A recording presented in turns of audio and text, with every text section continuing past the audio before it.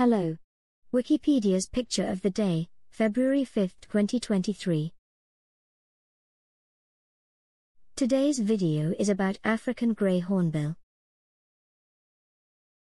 The African grey hornbill, Lophoceros nasutus, is a bird of the hornbill family, which is widespread in much of sub-Saharan Africa and the southwest of the Arabian Peninsula. This female of the subspecies L.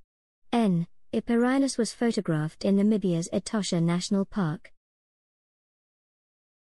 Thanks for watching. And don't forget to like, comment, and share.